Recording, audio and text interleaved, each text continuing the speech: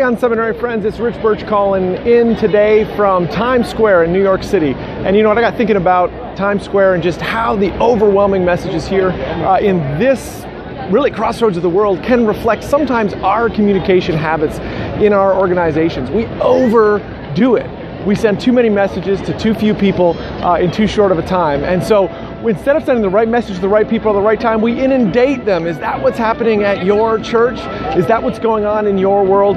What about this weekend if instead of sending a million messages, uh, you narrowed it down? This is a spectacle here at, at Times Square because it's ridiculous, because it's over communicated. It's really not driving the ends uh, that many of these organizations are hoping for. So, what can you do this weekend to narrow down the message, to focus the right message on the right time uh, with the right people?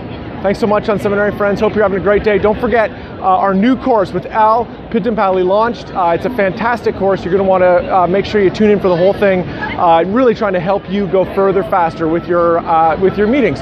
So thanks so much, friends. Thanks for being a part of Unseminary. Hope you had a great week. We'll talk to you later.